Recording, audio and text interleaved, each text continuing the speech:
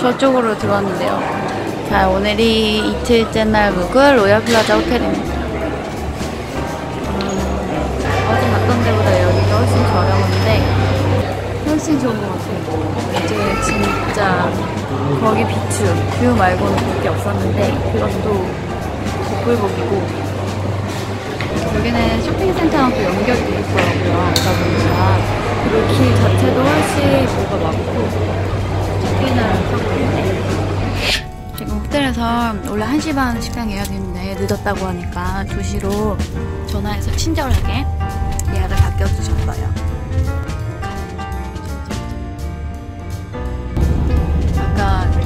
호텔 로비에서 음료수 마시는데 사람들이 쳐다봐가지고 약간 고마워서 거기도 먹으면 안 되는 건가?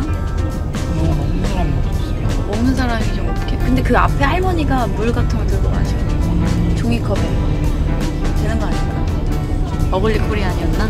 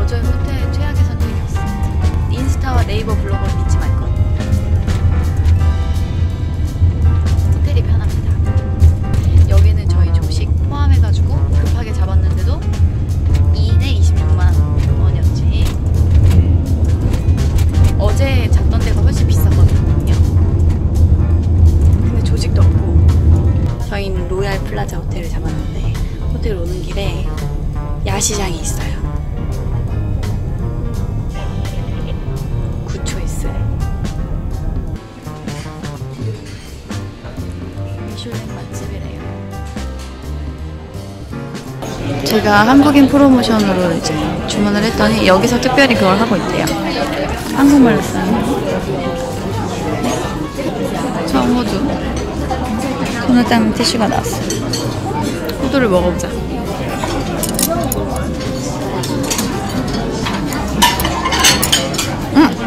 되게 맛있어. 호두 튀기면 달짝지근해. 첫 번째 요리가 나왔는데 요 위에 있는 게 전복인 것 같고 해산물이 들어있는 딤섬이래요. 그러네. 사람답게 먹어야지. 작게 방송용으로 먹는 거 아니지? 그렇지. 소스 좀 묻혀보고요. 어때? 짜다고? 그래.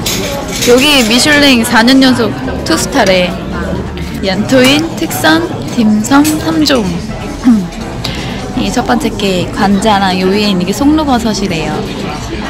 채소를 넣고 찐 거고 이거는 랍스터와 제비집 그리고 맨 위에 금가루를 얹어서 찐 만두고 이건 킹크랩 다리살이랑 채소를 넣고 만든 딤섬이랍니다. 먹어봤어. 이게 향긋한 배향이 나는 해산 만두래요. 그리고 이게 해산물 춘권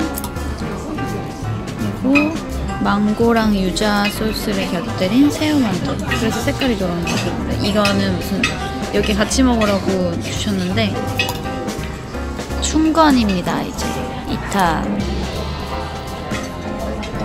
네 이걸 먹어. 이거 그냥 먹으면 되는 건가? 너무 한나.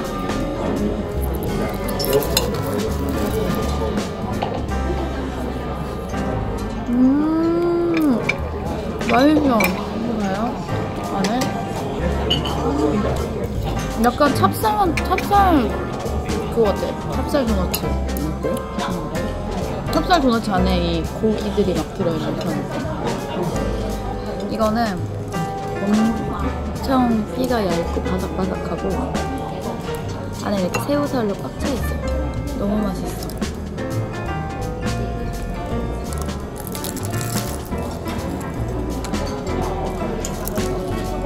얘도 먹어보자. 얘는 그 유자, 유자 같은 거를 마요네즈 소스에 갈아 넣나 봐요. 음. 소스가 되게 상큼하다. 고소하고. 뭐? 이거. 유자 씨 같은 거 같이 들어갔나 봐. 이제 거의 끝나갑니다. 연잎밥. 배불러서 못 먹겠어. 어떡해.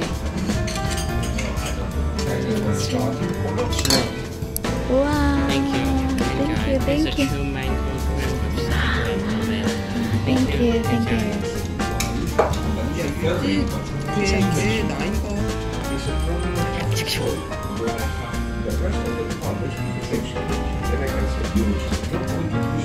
맛은? 음, 진짜 맛있어. 이게 이제 코리안 프로모션 런치 876달러.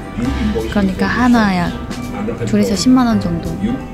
대략 닭발이 3 아무튼 맛있었어요. 근데 괜찮은 것 같아요. 부모님 모시기 오기도 괜찮고. 미니스프리 바로 옆에 위도리 벤치. 여기로 들어가서 사면 돼요. 쿠키 전문점 같이 안 생겼다는 얘기가 있었는데 그 말이 사실인 걸로 네 마음의 준비를 하고 가시는 게 좋을 것 같아요. 저는 3번으로 그만하는데 엄청 무거워요. 그리고 지금 아까 전에 우리가 찐뽕 해놨던 그 밀크티 바를 들어왔습니다. 나는 이거, 보라댕은 이거.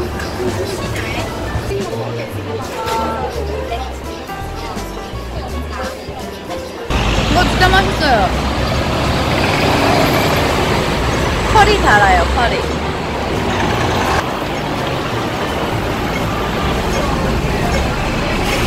리. 근데 우리 이따 또 먹자, 나도. 나도 이거 또, 먹, 또 먹자고 하려고 했는데. 맛있다. 여기가 두 번째 호텔 숙소로 잡은 로얄 플라자 호텔입니다. 여기 되게 좋다. 와, 진짜. 첫날부터 여기로 올 걸 그랬어요. 첫날부터 여기로 올 걸 그랬어요. 화장실도 넓고 깨끗하고 엄청 깨끗해요.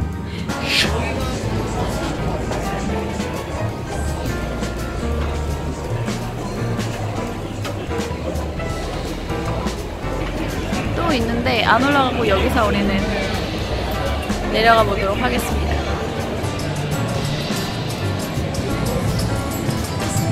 여기 약간 외국인들 그런 건가 봐. 어? 무궁화. 코리안인가? 한국 그거다.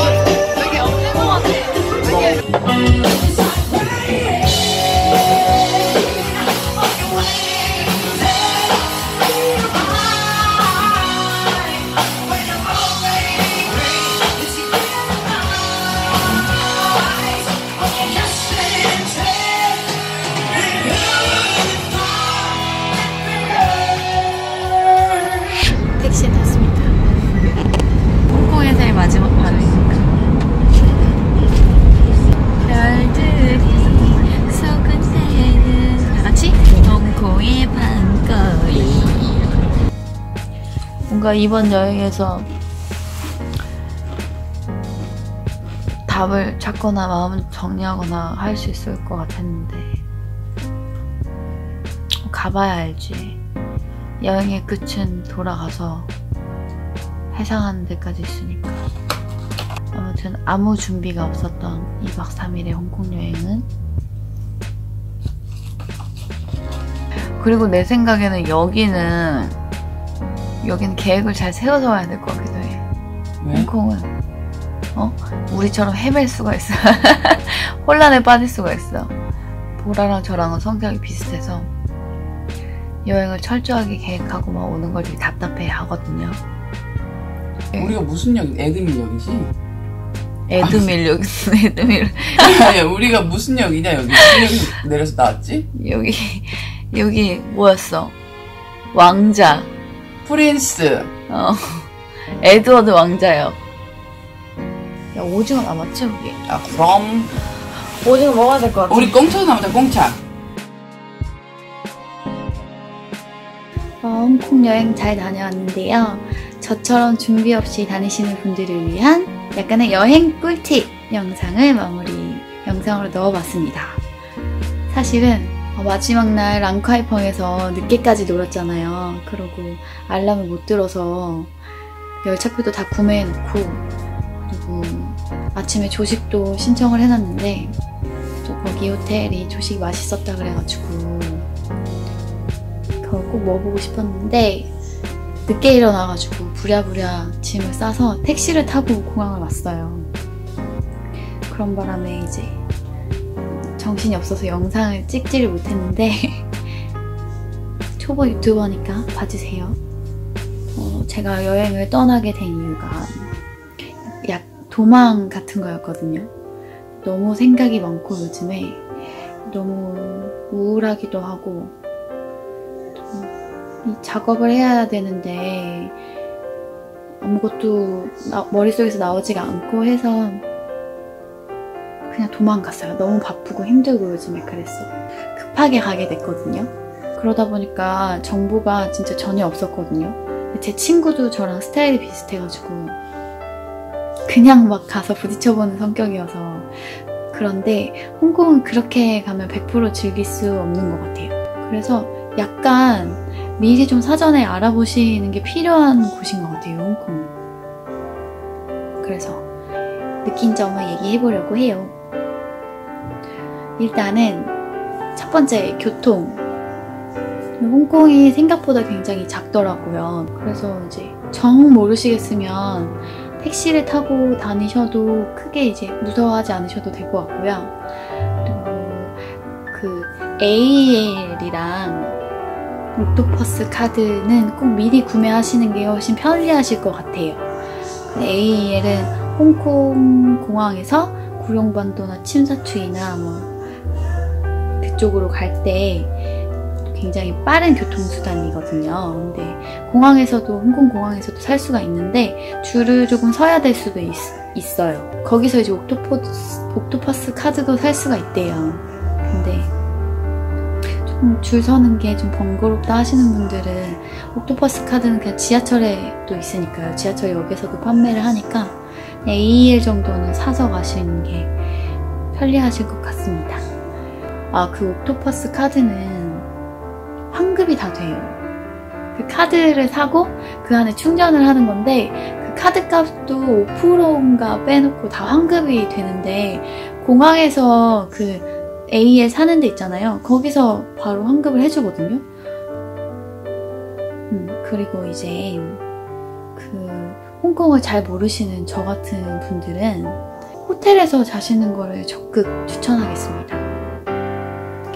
굳이 막 되게 좋은 호텔이 아니더라도 4성급 이렇게 하면 20만 원대 20만 원 초반도 있고 10만 원 후반도 있고 한데 아무래도 호텔이 훨씬 편한 것 같아요. 그 첫날은 21 화이트필드라고 제가 이제 인스타로 홍콩 여행을 한번 찾아봤는데 거기서 뷰가 너무 멋있는 거예요. 그래서 거기를 예약을 했는데 앞에 1층에 로비에 이제 직원분 한 분이 계신데 그분이 굉장히 무뚝뚝하시고 뷰만 좋았어요.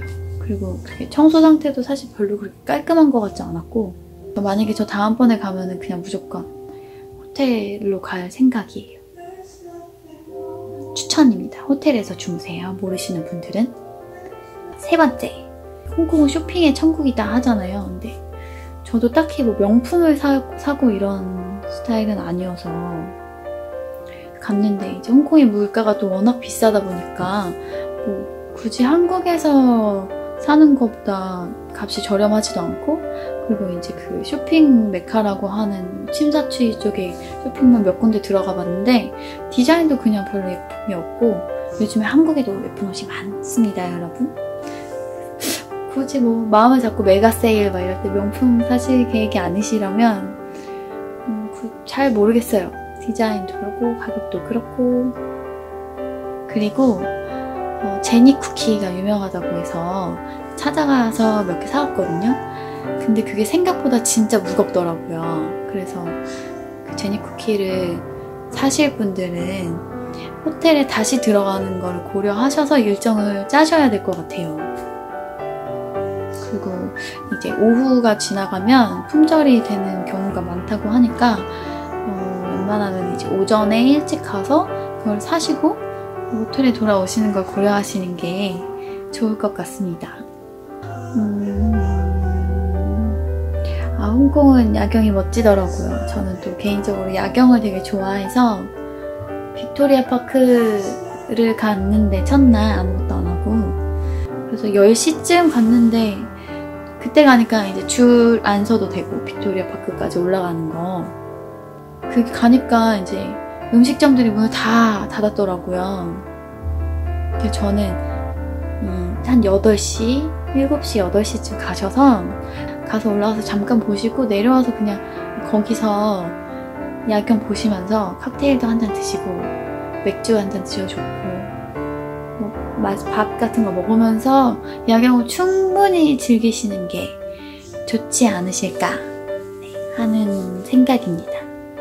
그리고 사실 막 뭐 소거리나 뭐 미드라인 에스컬레이터나 랑카이평도 마찬가지고 뭐 거기밖에 안 가봤지만 되게 실망했거든요. 근데 홍콩에 있는 명소들이 대부분 그런 식이래요. 갔다 가면 거기 있다. 그거밖에 볼 게 별로 없고 굳이 미드라인 엘리베이터는 그냥 뭐 그거를 타러 가신다기보다는 소거리를 가기 위해서 가는 정도로 교통수단 정도로 생각을 하시는 게 좋을 것 같고 랑카이펑은 약간 이태원 같은 느낌이었는데 중국인들이 많은 게 아니고 진짜 이태원처럼 외국인들이 다 있더라고요. 그리고 main s- main spot인 거리가 한 100m 남짓 밖에 안 돼서 되게 실망했어요. 음. 아 근데 버블티 진짜 맛있어요. 제가 버블티가 맛있다 그래가지고 이제 그냥 유명한 데는 아니었는데 호텔 오는 길에 하나 있어서 사 마셨잖아요. 근데 너무 맛있었어요. 여러분 홍콩에 가시면 버블티는 꼭 두 번 드세요. 세 번 드시고요. 네, 그것도 저의 추천입니다. 그래서 솔직히 총평을 하자면 홍콩보다 한국이 낫다. 아, 나 좀 혼나는 거네요. 근데 이제 확실히 힐링은 됐던 것 같아요. 다녀와서 하루 자고 피곤해서 하루 바로 자고 그 다음날 정도 되니까 이제 제 거짓말처럼 머릿속이 싹 정리가 심플하게 되더라고요. 그래서 어쨌든 힐링을 하고 머리를 생각을 정리를 하고 싶어서 refresh 하고 싶어서 다녀온 거라서 저는 성공적이었던 것 같아요. 그렇게 다- 정신없이 다녀왔지만 그래도 잘 다녀온 것 같아요. 이제 힘을 내서 열심히 열심히 어, 먹을 해보도록 하겠습니다. 마치 처음인 것처럼. 네. 그리고 저희 두서가 웃고 정신이 없는 영상을 지켜봐 주셔서 오늘도 너무 감사합니다. 다음 영상은 뭘 찍어볼까요? 다들 이제 굿나잇 안녕